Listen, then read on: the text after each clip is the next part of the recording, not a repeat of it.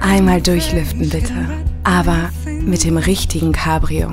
Vom Smart Cabrio bis zum Aston Martin Vantage. Sei so frei. Dein Mietwagen zum Discounterpreis.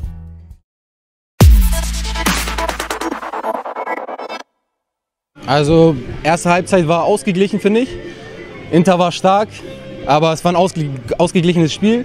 Und zweite Halbzeit nach dem 1-0 haben wir dann ähm, übernommen und haben dann das 2-0 gemacht. Danach kam nichts mehr von Inter.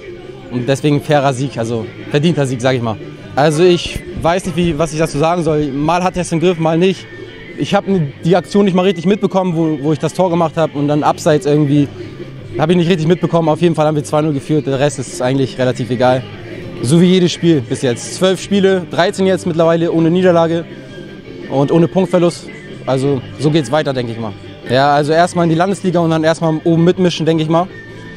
Und je nachdem, wie sich das dann ergibt.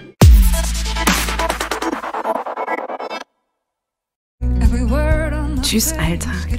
Hallo, Freiheit. Wollen wir ans Meer oder in die Berge? Hauptsache Sternenhimmel zum Einschlafen.